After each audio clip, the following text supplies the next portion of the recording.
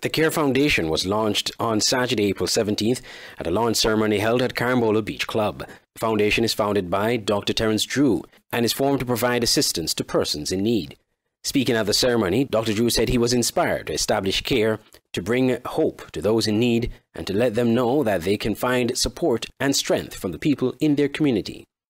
We would all recognize the signs of increased poverty more and more children are going to bed hungry. With unemployment being so high, more and more parents are unable to feed their families, pay their rent, and cover the basic cost of living. I will give you a story here. Usually we do breakfast to raise funds around the communities. And when we did a breakfast in Cayon, I can remember there were some children who came. And for the first time, I had recognized that. And I engaged them and asked them, why were they here and why were they here so early? And the response was, we hope to get something to eat. We had to take a good part of the breakfast and give it to the children. So if we ask the question, we would recognize.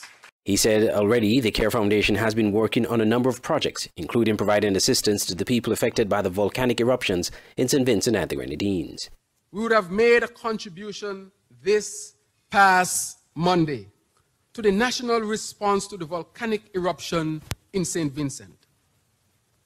I am proud that within just a few days, the CARE Foundation was able to facilitate on behalf of the people of St. Eustatius the donation of 11 pallets of, of water, of bottles of water to our brothers and sisters in St. Vincent and the Grenadines. Disaster response is a priority.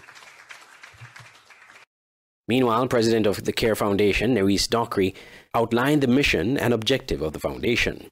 The objectives of our organization flow from five priority areas. Poverty alleviation is one of the main objectives of our foundation. At a time when so many are hurting through chronic joblessness and un unemployment, CARE aims to provide direct assistance to the most vulnerable populations within our communities, including the poor, the elderly, disabled, and single-parent households. While we have many projects and activities that we will be pursuing in the short term, one of the projects that we plan to achieve over the next 18 months to two years in the area of this priority area is the establishment of a national food bank that would create a non-discriminatory system of food distribution that allows individuals and families to access the basic necessities of life with dignity. Other members of the executive of the foundation are Anthony Johnson, Secretary, Mr. Bass, Dr. Christine Walwyn, Dominic Stevens, Loretta Evelyn, Lenin Blanchett, Mary Clark, and Kelvina Salters. Andre Huey, SKN Newsline.